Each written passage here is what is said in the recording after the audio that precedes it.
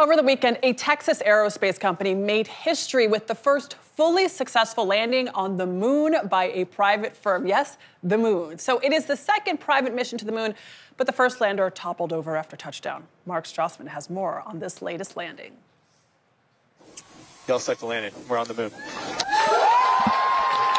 The landing, flawless. The first pictures, stunning. Firefly's Blue Ghost lander casting a shadow across the lunar surface. In the distance, the Earth, and all of us 240,000 miles away. I'm so proud of you know that lander and the team that built it. Uh, it's incredible. Ray Allensworth is spacecraft program director at Firefly Aerospace. All right, go ahead. Yeah.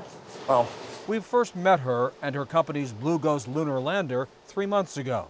Six feet tall, 11 feet wide, with four landing legs now touching lunar dust. So their cameras distributed basically all the way around the landers. Ignition and liftoff. Launched in January, Blue Ghost cameras captured video of its journey from Earth to lunar orbit.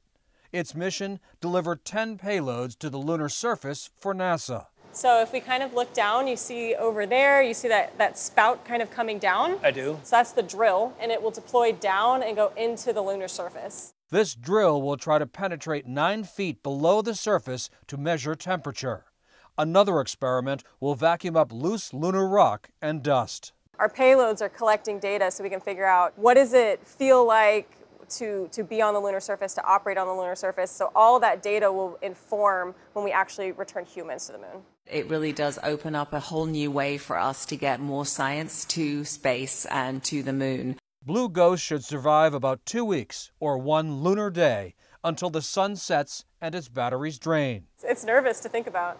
But for Allensworth, until Sunday, the moon seemed so far away. Not anymore. You just imagine, like, that's where it's going to be, but now you know it's there. And that, that's a totally different feeling. So, yeah, I, the next full moon, I'll, I just won't sleep. I'll just I'll stare at it all night. One moon landing at a time, space companies like Firefly now prove that they have the right stuff. For CBS Mornings, Mark Strassmann in Atlanta.